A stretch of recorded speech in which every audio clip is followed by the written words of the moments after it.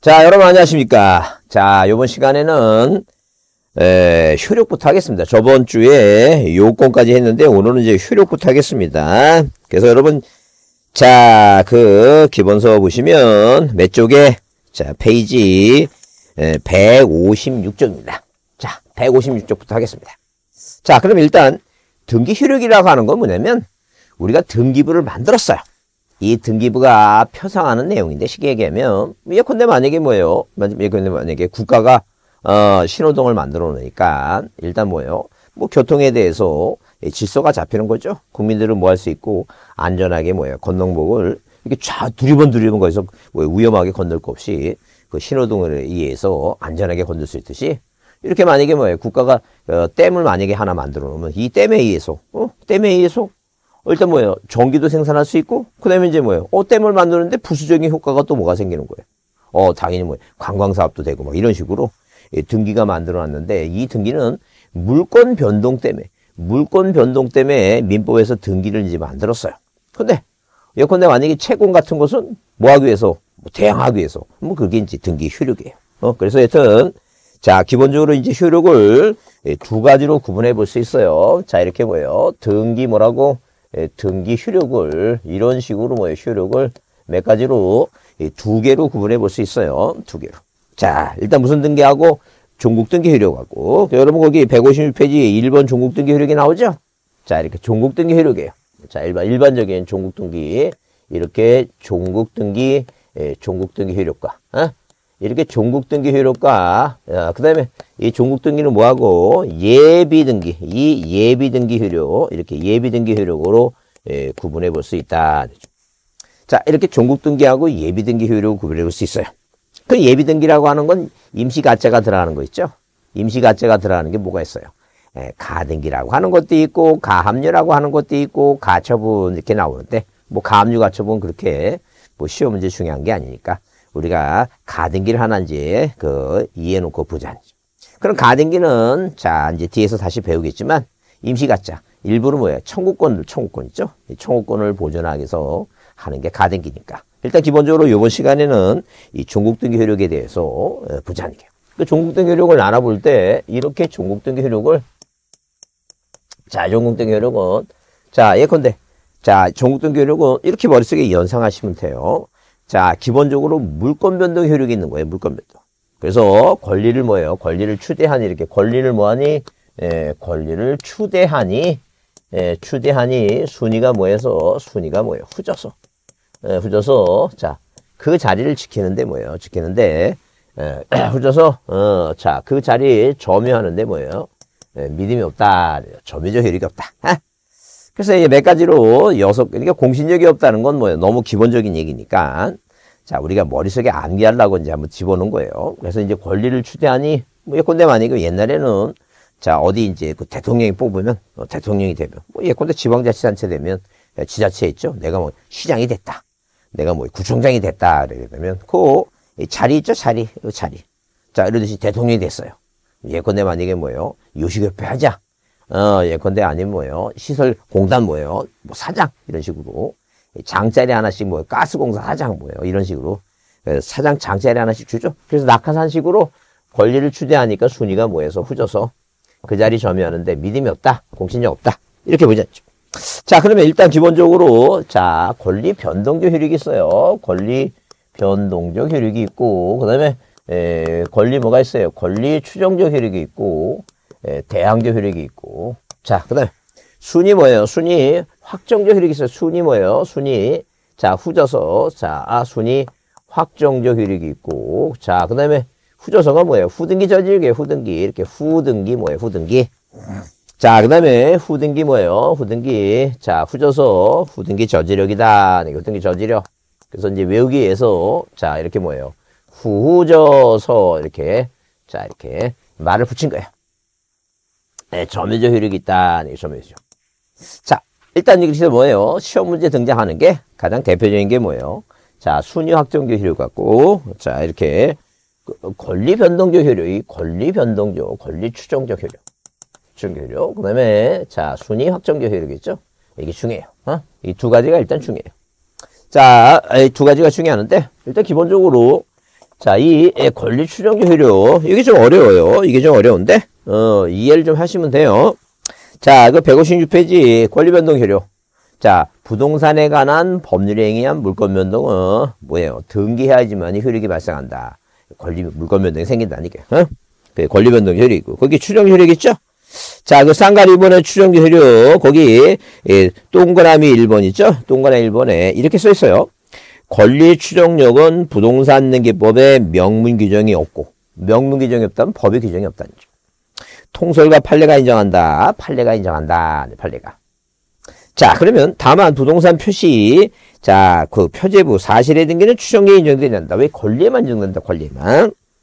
자, 그러나 본등기 효력이므로 가등기는 추정이 없다. 따라서 소유권 이전의 청구권을 보존하기 위한 가등기가 써도 소유권 이전기는 청구할 어떤 법률 관계가 존재한다고 있다고 추정되지는 않는다. 이렇게 써놨어요. 자, 그러면 일단 우리가 시험을 보기 위해서는 자, 추정력이 있다 없다 이렇게 중요한데 추정력이 있는 게 많아요.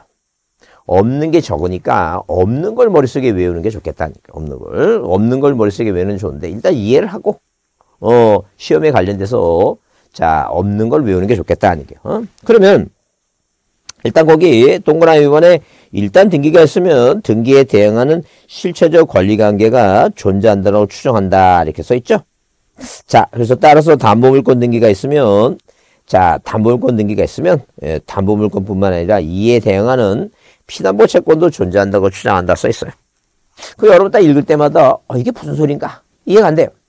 그 일단 왜 이 추정력 효력이 왜 이게 생겼는지 한번 이해를 해보자는 게 추정력 효력이 왜 생겼는지. 그럼 여기 방금 이제 동그라미 2번에서 얘기했지만 자 일단 등기가 돼 있으면 예컨대 만약에 등기부상에 이렇게 뭐예요 등기부상에 자 1번에서 소유권 보존 등기 뭐라고? 가 자 보존 등기 갑 자 그러면 누가 자 이런 식으로 뭐예요? 2번 자 소유권 이전 등기가 돼 있다는 얘기예요. 자 그럼 세상 사람들은 자 여기 등기부상에 뭐가 돼 있으면 매매가 돼 있으면 아, 이전 등기를 보는 순간, 아하, 자, 이 등기를 통해서 일단 등기가 됐으면 등기에 대응해서, 여기 대응해서, 아, 현재 소유권자 을이란 사람은 적법하게 누구한테 갑이라는 소유권자한테 무엇을 매매라고 하는 매매라는 뭐예요? 매매라는 이 원인에 의해서 소유권을 취득했을 것이라고 뭐예요? 자, 미뤄 짐작한다, 이게 추정한다, 이게. 그러니까 이거는 뭐예요? 간주한다, 그게 아니에요. 추정하는 거야. 미리 생각하는 거야, 지금. 근데 이 추정은 뭐예요? 추정은 반대 증거에서 깨집니다. 그럼 예컨대 만약에 이런 일이 있다는 게 누가 자 이렇게 일반적으로 추정하는데 갑이라는 사람이 뭐라 해요? 나는 얘를 만난 적도 없다. 만난 적도 없다. 그래서 이 의리단 놈이 나 몰래 공문서를 유지해서 등기한 것 같다. 나는 판 적이 없다라고 얘기하고 어른이 얘한테 얘기하고 그러니까 이 사인과 사인 간에 다툼이 생겼어요. 그 사인과 사인 간에 다툼이 생겼는데 다툼이 생겼잖아요 지금. 근데 민법에는 아, 이 지금 법에는 그런 규정이 없어. 그러니까 법에는 그런 규정이 없으니까 사인과 사인 간의 다툼이 생기니까 이 갑이라는 사람이 소송을 해요. 자 판사님 나는 얘한테 부동산을 판 적도 없는데 얘가 뭐예요? 나 몰래 등기를 해갔습니다. 이 등기는 무효니까 이 등기를 말세달라고 소송을 한다. 그러니까. 자 그러면 이렇게 소송하게 되면 자 판사가 뭐예요? 판사가 이제 대법원에서 판결이 나온 거예요. 원고 가봐. 아, 원고 가봐. 그러니까 왜 법의 규정이 없으니까 그 대한민국에서는 법의 규정이 없으면 사인과 사인 간에 다툼이 생기면 자 다툼을 해결해 주는 건 뭐예요? 뭐, 뭐에 의해서 그 판결 대법원 판결 이 소송을 하니까 판결에 의해서 뭐예요? 할수 없이 해결할 수밖에 없다. 그게 판례예요. 판례. 그래서 이제 우리가 이제 공부하면서 민 판례 판례 이렇게 얘기하는데 판례라고 하는 것은 할 수 없어요. 법의 규정이 없어서 국민들 간의 다툼을 해결 못 하니까 대본에서 만들어진 게 그게 판례입니다. 그럼 판례에서 이제 만들어졌는데 자 대본에서 이런 판례가 나온 거예요. 뭐라고 원고 가봐. 자 국가공무원회에서 등기부를 만들어 놨으니까 일단 뭐예요? 일단 거래 안전을 위해서 일단 이게 유효한 거로 볼 테니까 네가 뭐야? 네가 무효락을 주니까 네가 뭐 해보라니까 네가 입증을 한번 해보라 하니까 입증. 입증이라고 하는 것은 뭐예요? 자 뭐야라고 증거들이 대발하니까 증거 입증 책임 문제 때문에 이 추정력이라고 하는 게 생겼다는 죠 그럼 자, 다른, 다, 다른 측면에서 한번 이해해보자. 무슨 얘기니까? 한마디로 예, 예컨대 만약에 뭐예요? 누가, 자, 이 사람이 뭐예요? 이 사람이, 자, 이 도둑질 했어요. 도둑질 해서 이 도둑놈을 잡았어요. 잡아서 경찰이 누구한테 자 검찰에 넘겼어요. 그래서 이제 누가 이 검사가 뭐예요? 검사가 자 뭐 했어요? 자 이거는 민사 소송이고 이거는 뭐예요? 자 예, 형사 소송입니다. 자 누구한테 판사한테 자 판사님 이놈 도둑놈이니까 얘를 처벌해 달라고 뭐예요? 자 기소를 한다는 얘기예요. 기소 어 예, 기소했다 죠 예, 판사가 뭐라 얘기해요? 살아하는 검사야 무죄 추정의 원칙 자, 이 대한민국 국민으로서 이 사람은 뭐예요? 자, 도둑질을 안 한 걸로 무죄라고 추정을 하니까, 어? 네가 이 사람이 뭐야? 이 사람이 도둑놈이라고 뭐야? 나쁜 나쁜 놈이라고 뭐 했으니까 주장을 하니까 네가 뭐 해봐라니까 이거 입증을 해봐라. 그러니까 무슨 말 이해하세요? 그러니까 당연히 뭐예요? 당연히 이 추정력이라고 하는 추정력이라는 개념은 법의 규정이 안 돼 있고 다툼이 생겼으니까 다툼을 해결하기 위해서 뭐예요? 판례가 나왔는데 판례에서 그 놈이 요 놈이 도둑놈이라고 그러니까 도둑놈이라고 그러니까 검사는 뭐예요? 입증해야 되겠죠? 이 놈이 뭐예요? 자 동영 저이 동영상 같은 거라든가 물건을 훔쳤으면 물건 훔친 장물하게 잡아서 증인을 증거를 확보한다든가 입증하라 마찬가지예요. 이 갑이라고 하는 사람이 뭐예요? 갑이라는 사람이 소송하면서 이 등기가 무효라고 주장했으니까 이 갑은 자, 분명히 우리나라에서 소유권 이전등기를 받으면 뭐가 있어요? 신청서라고 하는 게 있다는 게요. 무슨 신청서? 소유권 이전등기 신청서가 있는데 신청서에 내가 집을 팔았으면 의무자 값은 내가 여기다 도장을 찍었을 텐데 나는 인감도장 찍은 적이 없다. 그 판사가 뭐예요? 판사가 뭐라 얘기해요? 다음 공판까지 너 인감도장 가져오라고 하고 어디에 자 등기소에 명령합니다. 뭐라고? 자 우리가 이런 사건을 받았으니까 자, 이 지금 뭐예요? 요, 요, 요 등기가 돼 있는 요 신청서를 등기, 저 법원으로 보내달라라고 명령해요. 그래서 등기소에서 민사법원으로 보내주는 것을 우리가 뭐라 얘기한다? 자, 신청서, 기타, 부속서류, 송부부라고 얘기해요. 그럼 그, 그 신청서 받아보고 이 인감도장하고 이 사람이 다한 공판에서 제, 제출한 인감능력을 확인해봐서, 어? 이게 위조가 된 건다. 이렇게 보시면, 어? 어, 그러면 뭐예요? 이 사람한테 판결을 내려준다는 게. 자, 이전 등기를 뭐라고? 말소를 이행하라. 그래서 이런, 자, 대부분의 그, 제 판결에 의한 그 확정 판결에 의해서 추정을 깰 수가 있다. 그런 얘기. 자, 하여튼 그래서 방금 얘기한 대로 거기, 에, 자, 156페이지에, 에, 156페이지 동그라미 3번 그래서 권리 추정력은, 권리 추정력은 적법한 등기 원인에서 소유권을, 자, 소유권을 추정한 걸로 추정되고, 자, 그 다음에 4번에 뭐예요? 4번에 권리 변동 당사자 간의 추정력에 효력이 미친다. 따라서 등기가 있으면 제3자뿐만 아니라 전 소유자에 대해서도 적법한 원인에서 소유권을 추정한 걸로 추정한다. 그러니까 한마디로 뭐냐면 이 매매라고 하는 두 사람은 매매했는데 어떤 사람이 이 두 사람은 부자지간이고 형제지간이라 매매 안 하고 증여했을 것이라고 뭐냐면 그 주장한 사람이 입증 책임이 있다. 그래서 여러분 거기 동그라미 5번에 뭐예요? 자, 여러분 동그라미 5번에 이거 한번 읽어보겠습니다. 같이 읽어보시죠. 자, 자 시작. 추정력은 반대되는 증거 확정 판결에 의해서 추정을 뒤집을 수 있으며 입증 책임은 누구한테 있다고? 주장하는 자에 있다. 이게. 자, 입증 책임은 누구한테 있다고? 주장하는 자에 있다. 이게. 자, 그래서 여러분 거기 방금 우리가 한번 봤지만 그 동그라미 이번에도 마찬가지죠. 거기 두 번째 줄에 아 위에 그 중간에 156페이지. 따라서 예컨대 만약에 뭐예요? 어디에? 자, 여기 지금 뭐예요? 자, 이런 식으로 을구에 예, 자, 을구에 여기 1번에서 무슨 등기가 돼 있으면 1번 저당권 설정 등기가 돼 있죠?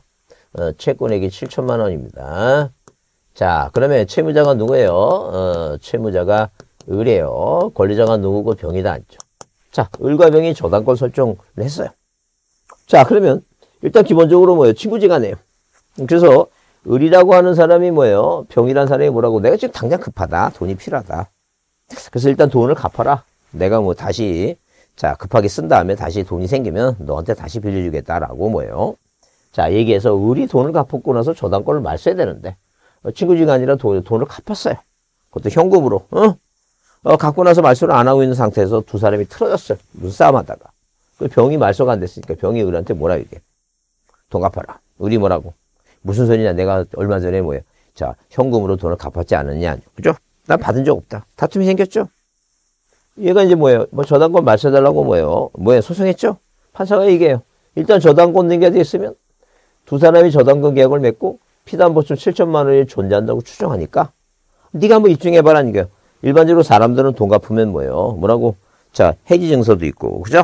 음 그런데 네가 돈 받았다는 그러니까 한마디로 뭐냐면 절대 이렇게 뭐예요? 자 이 아무리 뭐예요? 아무리 친한 관계를 하더라도 이 돈 문제는 깨끗하게 돈을 갚았으면 해지 증서 쓰고 있죠?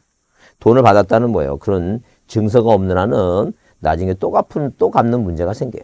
어, 그래서 항상 기본적으로 우리가 하다못해 뭐예요? 마트 같은 데 가서 뭐예요? 마트 같은 데 가서 하면 영수증 같은 거 있잖아요.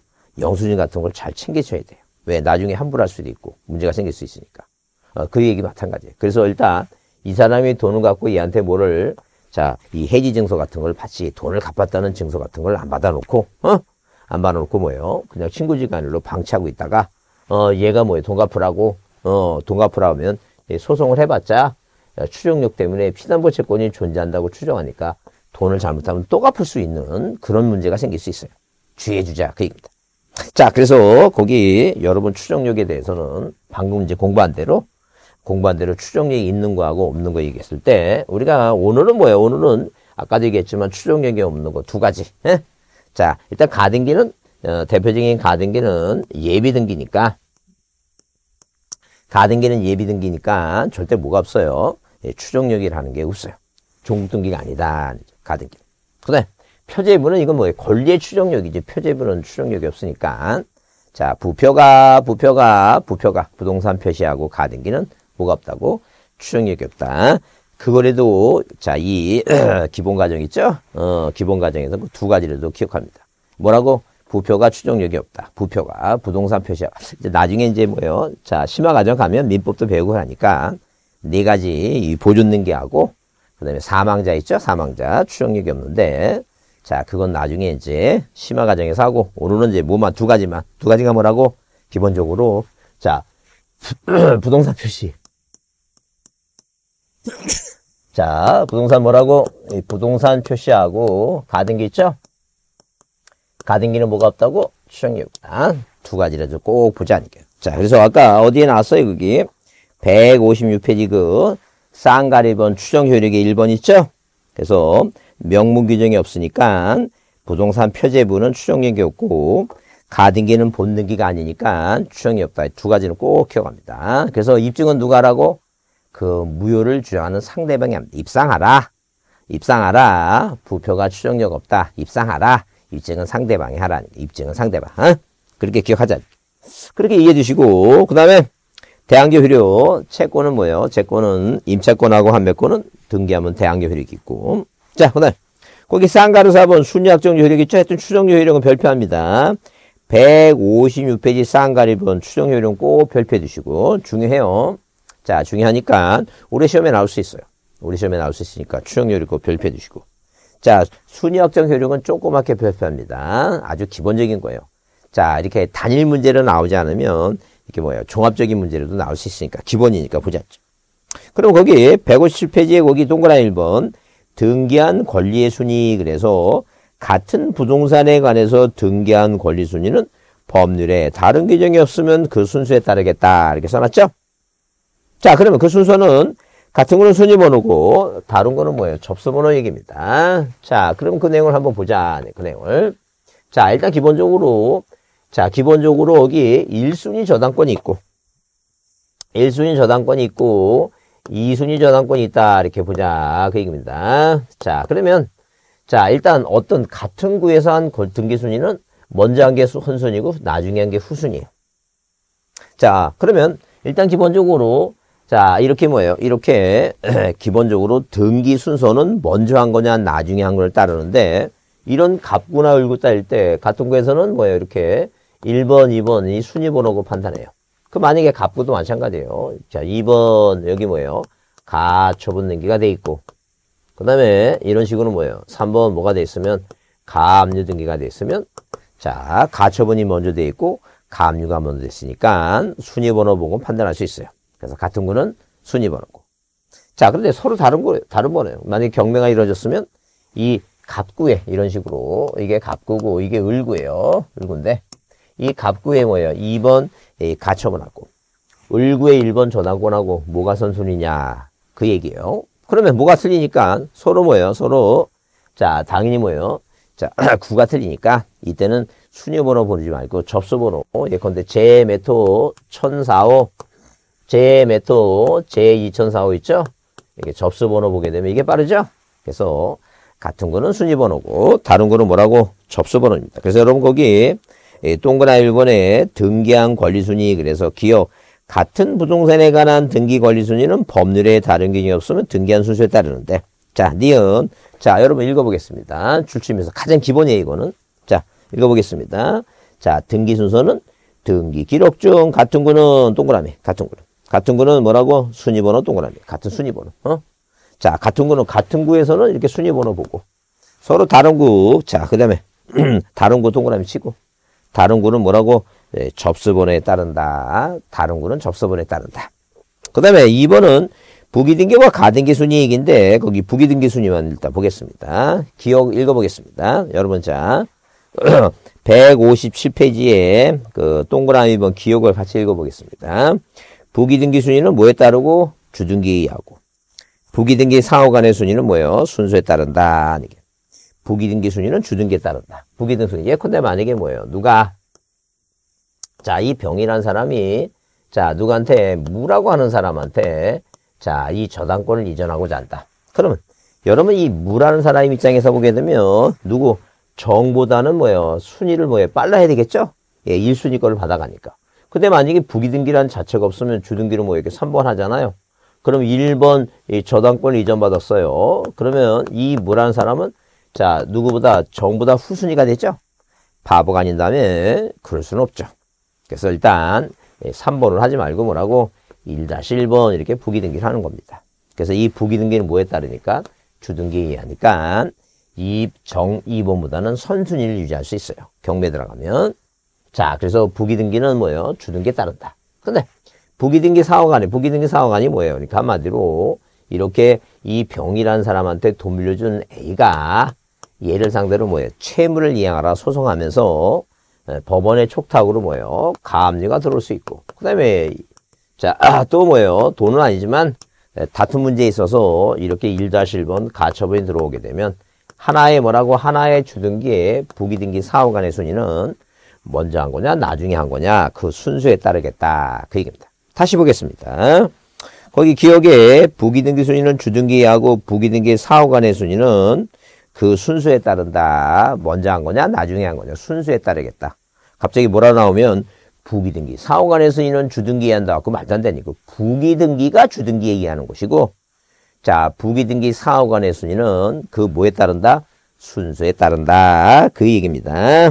자, 그렇게 보자니까. 자, 넘기세요.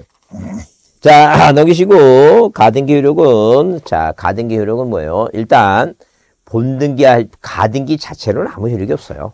본등기 할 때만 이제 뭐예요? 순위 보존 효력이 있다. 이렇게 보시면 돼요. 뒤에 가등기 할 때 다시 보겠습니다. 자, 여기서요. 등기소와 등기관은 자 시험 문제 요새 안 나오고 있어요. 안 나오고 있으니까 그건 절대 고민할 거 없고요. 어, 신경 쓸 것도 없어요. 신경 쓸 거 없고 다만 우리가 거기 이 쌍가리번 관할 등기소에 관한 관할 등기소 있죠? 예, 관할 등기소에 대해서만 명칭만 관할 등기소는 그 부동산 소재지를 관할하는 있죠? 소재자를 관할하는 등기소가 관할 등기소예요. 그래서 항상 자, 관할 등기소가 아닌 데서 등기하게 되면 그 절대 부예요. 음, 그런 점만 하나 이해하세요. 다음에 예, 자, 심화 과정 할 때 다시 한번 기본적인 문제 나왔던 거 보겠습니다. 쭉 넘기서 이건 필요 없고요. 어디 보시냐면 자, 164페이지에 뭐예요? 등기부의 등기에 관한 장부 있죠? 어, 이 등기부에 관한 장부, 어, 이거를 좀 보겠습니다. 자, 일단 그래서 거기 164쪽에 보시면 부동자 등기부의 의미 종류 그래서 등기부의 의의는 자 부동산 부동산 등기부니까. 부동산 등기부는 자 부동산에 관한 권리 관계와 사실 관계에 관한 사항을 자 전산정보 조직에서 입력 처리된 등기 정보 자료를 규칙에 전한 바에 따라 편성하는 걸 말한다. 이렇게 써놨죠? 한마디로 뭐예요? 등기부는 편성하는 거예요. 쉽게 정의가 그렇다니까 등기부는 편성한다 하는데 거기 밑에 쌍가리 본 등기부 종류 있죠? 등기부니까 부동산 등기부니까 토지 등기부하고 건물 등기부 종류가 몇 가지가 있다.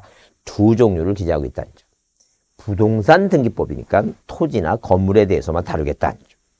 자, 그러면 거기 특별부상의 등기부는 임목, 선박, 공장, 재단 등기부, 광업, 재단 등기부 써있죠?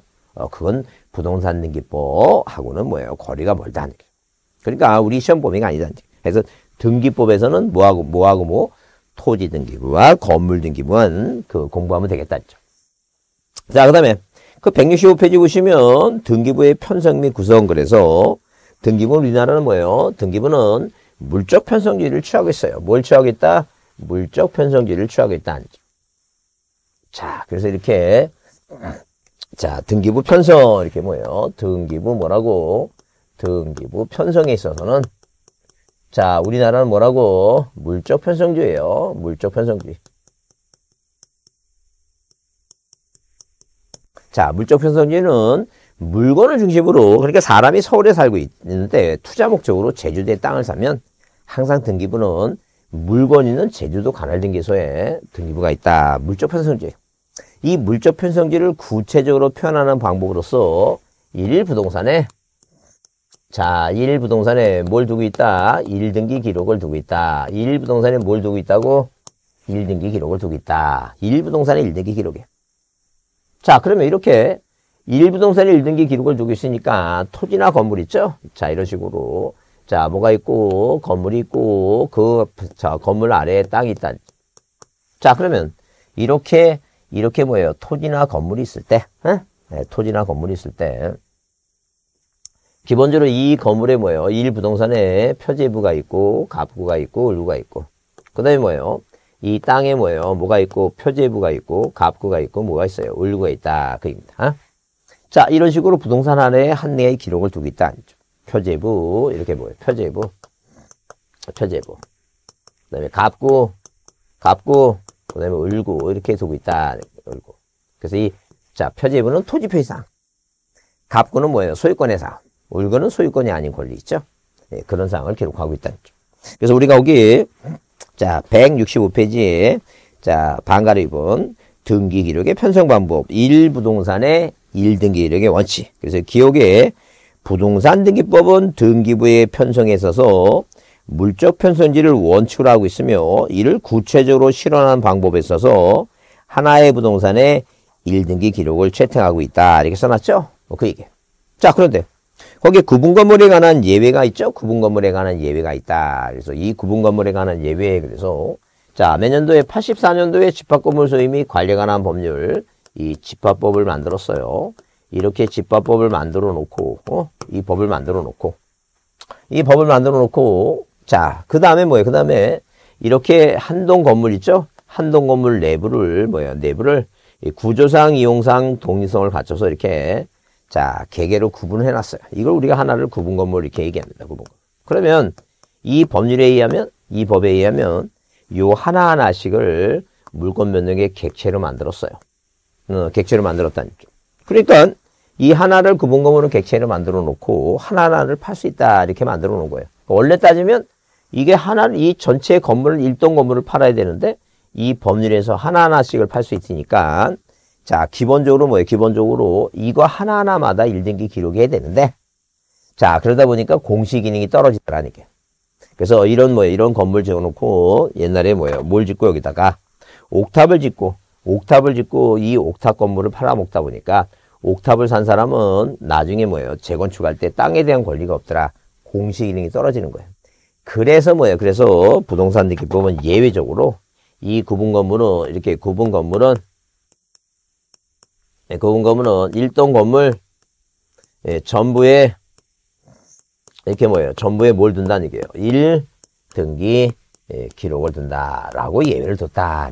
그래서 항상 자, 뭐 앞에 1등기 기록이라는 단어 앞에 뭐가 와야 돼요? 전부라는 단어가 와야 된다. 뭐 앞에 1등기 기록 앞에 뭐가 와야 된다고? 전부란 말이 와야 된다. 이렇게 그렇게 이해합니다. 1등기 기록 앞에 전부란 말이 와야 돼요. 그러니까 하나하나마다 1등기 기록이 아니라 일동 전체 표지부를 만들어 놓고 그 다음에 각자 전유부분 표지부를 만들어 놓고 어, 전유 표지 만들었죠?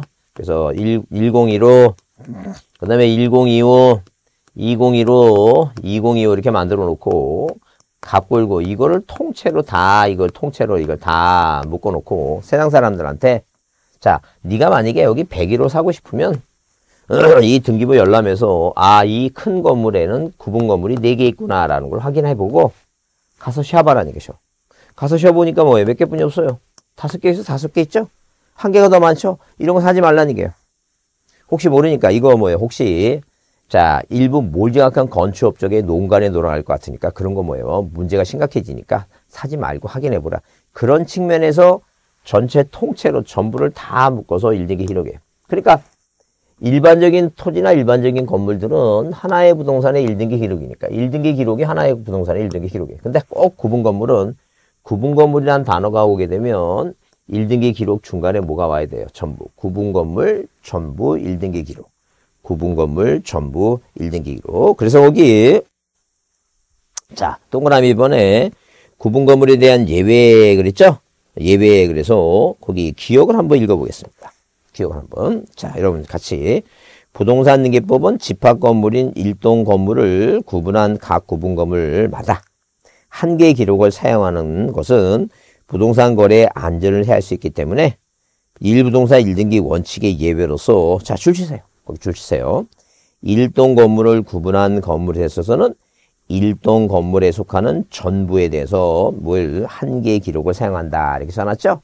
그래요. 이번 기본 과정에서는 그 내용만이라도 이해를 해보자. 뭘 이해해주자고? 아하. 자, 구분 건물은 1등기 기록 중간에 뭐예요? 전부. 이걸 통째로 다 묶어놓고 이 전부가 1등기 기록이구나. 무슨 말이 들어가는구나. 전부라고 하는 말이 들어가는 거구나. 이렇게. 그렇게 이해합니다. 그래서 여러분 거기 자, 일반적으로 166페이지 일반 건물은 표제부가 하나죠? 근데 아파트는 거기 167페이지에 자, 쌍가루 3번에 줄이나 한번 쳐놓습니다. 표제부가 몇 개 있다고? 표제부가 두 개가 있어요. 자, 1번에 줄 치세요. 뭐가? 일동 전물 전체 표제부가 있고. 그 다음에 동그라미 2번에 뭐예요? 전유 부분, 각자의 전유 부분 표제부 있죠? 표제부가 몇 개라고? 표제부가 두 개라는 걸 항상 생각을 해야 됩니다. 아파트 구분 건물, 집합 건물은 표제부가 몇 개라고? 두 개다. 이렇게 꼭 기억을 합니다. 표제부가 몇 개라고? 예, 두 개다 이렇게 기억합니다. 자, 그 다음에 뭐예요? 구분 건물은 나중에 좀 어려우니까 뒤에서 하기로 하고 자, 어디 보시냐면 일단 자, 몇 페이지에 그 178페이지를 한번 보겠습니다. 178페이지를 보시면 거기 등기사항의 증명과 열람 있죠? 요새 잘 안 나오고 있는데 일단 기본적으로 이렇게 등기부는 이 등기부는 뭐예요? 등기부는 누구든지 뭘 납부하고 수수료를 납부하고 이 등기부에 대해서 자, 그 등기상 증명서 교부 있죠? 이 교부를 할 수 있어요. 교부. 그 다음에 모두 가능해요. 자, 열람도 가능해요. 모두 가능하다고 열람도 가능하다. 그래서 여러분 거기 그 178페이지에 기억에 누구든지 수수료 내고 대보험 규칙이 정하는 바에 따라 기록을 자, 등기 기록을, 자, 등기 기록에 기록되어 있는 그 전부 또는 일부에 대해서 증명서 발급을 청구할 수 있다. 근데, 자, 등기부 기타 부속서류 있죠? 어, 부속서류는 이해관계 있는 부분만 열람할 수 있고 발급이 청구할 수 없다. 이렇게 써놨죠? 그러면 이 지금 뭐예요? 등기부가 아니라 뭐라고 신청서 기타 부속서류예요. 뭐라고 신청서 기타 부속서류 얘기입니다. 부속서류. 이 신청서 기타 부속 서류는 한마디로 뭐예요? 신청서와 그다음에 뭐예요? 촉탁서 있죠? 어, 그 어디에서 뭐 기본적으로 뭐예요? 법원이나 다른 어, 국가기관의 촉탁서. 아니면 뭐예요? 아니면 동의서라든가 있죠? 어, 그런 걸 우리가 신청서 기타 부속 서류라고 얘기해요. 이건 뭐가 안 된다는 얘기예요. 이거는 일단 교부 자체는 안 돼요. 자, 근데 뭐는 가능해요? 자, 열람이 가능한데, 자, 누구만이 자, 이해관계만이, 이해, 에, 관계만이 뭐예요? 관계만이 에, 열람할 수 있는 거예요. 어? 자, 그래서 여러분 거기, 요게 이제 뭐예요? 요게, 자, 이게 이제 시험 문제. 여기가 이제 시험 문제 지금까지. 자, 한 10년 전에 있죠? 어, 지금 뭐 10년, 10년 더 됐고, 15년 전에 이게 나왔던 문제고. 그래서 잘 안 나와요. 잘 안 나오는데, 줄이나 한번 쳐놓습니다. 그래서 여러분 거기 어디 보시냐면, 자, 180페이지 있죠? 그 쌍다리본에 등기 기록이 부속서류에 열람이 써 있죠? 그래서 거기 자 동그라미 1번에 뭐야 동그라미 1번에 거기 누군지 수수료 내고 대법원 규칙이 정하는 바에 등기 기록에 기록되어 있는 사항에 전부 일부를 열람할 수 있다. 거기 다만 거기 출치겠습니다. 한번 읽어보면서 출치겠습니다. 180페이지 다만 자, 주, 자 출치면서 읽, 겠습니다 자 읽어보세요. 시작. 다만 등기 기록의 부속 서류에 대해서는 이해관계 있는 부분만 이, 자, 열람할 수 있다는 점. 즉, 기록에 대해서는 누구든지는 못 보고 그 이해관계 있는 부분만. 예컨대 만약에 소송을 하면서 미성년자의 뭐예요? 법정 대리인의 동의가 있었느냐, 없었느냐. 그 법정 대리인 동의서는 어디에 처리했어요? 신청서 기타 부속 서류에 처리했으니까 그 소송 관계 당사자 이해관계만 볼수 있는 거죠? 이해관계 있는 부분만. 그러니까 그걸 다시 말하면 누구만이 본다고 이해관계만이 열람이 가능하다. 얘기. 그죠? 그러니까 누구든지 다 등기부를 뭐예요? 누구든지 등기부나 부속서류를 다 뭐예요? 겨부받고 열람한다. 그거 틀린 말이에요. 어? 그 점만 이해해 주시면 돼요. 그것만 줄쳐놓고 보지 않죠. 자, 거기까지 보시고요. 어, 조금 쉬었다가 자, 등기 절차 몇 페이지에 자, 등기 절차 총론 있죠? 어, 총론을 보겠습니다. 좀 쉬었다 하겠습니다.